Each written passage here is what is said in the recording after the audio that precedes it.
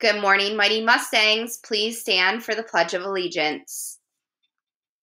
I pledge allegiance to the flag of the United States of America and to the Republic for which it stands, one nation, under God, indivisible, with liberty and justice for all.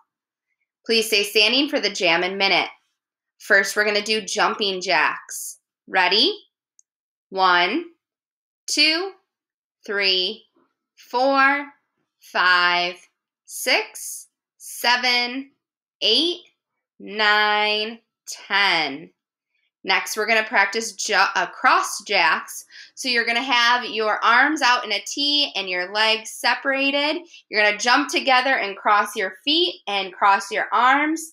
Jump back apart. And then when you cross again, have the other hand on top and the other foot in front. Ready? One, two, three, four, five, six, seven, eight, nine, ten. You may be seated. Today is Friday, May 28th, and it is a D Day. We have two birthdays today. Cameron Blanding and Sunday McCoy. If you see either of those students, wish them a happy birthday.